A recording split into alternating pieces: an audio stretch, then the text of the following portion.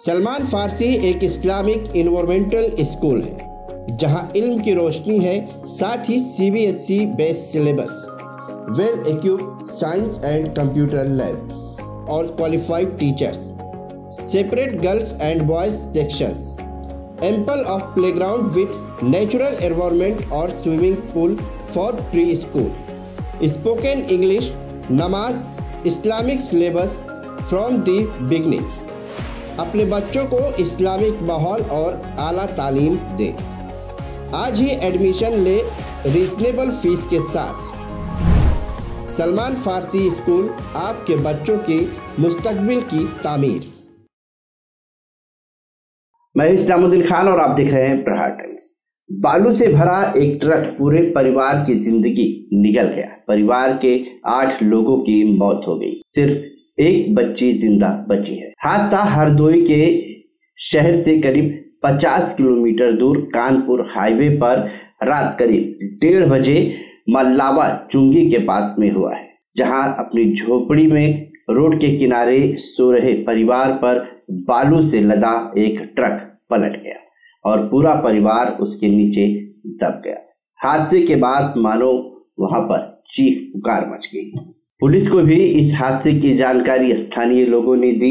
JCB के पहुँचने के पहले तक स्थानीय लोगों ने हाथ से बालू हटाने की कोशिश की, मगर जेसीबी जब पहुँची, उसके बाद बालू हटाया गया और झोपड़ी में सो रहे अवधेश के परिवार के आठ लोगों की इसमें मौत हो गई। मृतक की पहचान अवधेश 45 साल, उनकी बीवी सुधा 42 साल, जबकि तीन बच्चे सुनैना 11 साल, लल्ला पाँच साल, बुध चार साल और इनका दामाद करण पच्चीस साल, बेटी बाईस साल और और इनकी बेटी कोमल पाँच साल के रूप में हुई है। जबकि बिट्टू नाम की एक बच्ची जो है वो घायल है, जिसे इलाज के लिए अस्पताल में भर्ती कराया गया है। वही बताया जा रहा है कि जिस ट्रक से हादसा हुआ है, उस ट्रक ड्राइवर को भी पुलिस ने हिरासत में लिया है और आगे इस पूरे मामले की इन्वेस्टिगेशन की जा रही है। रात में एक ट्रक कानपुर की तरफ़ से सफ़ेद बालू लाद कर हरदोई की ओर जा रहा था। यहाँ मल्लावा कस्बा है।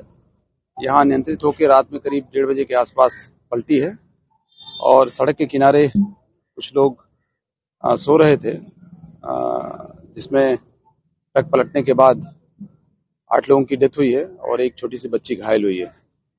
अभी हम लोग घटनास्थल पे हैं, देख रहे हैं ये दुर्घटना कैसे हुई। जो डेड बॉडीज हैं, उन्हें पोस्टमार्टम के लिए भेज दिया गया है। ट्रक का जो ड्राइवर है, वो भी पकड़ा गया है और आगे की पूछताछ की जाएगी कि ये दुर्घटना कैसी हुई और कहाँ से कहाँ जा रहा था। जो प्रथम दृष्टिया जानकारी मिली है, वो यही है।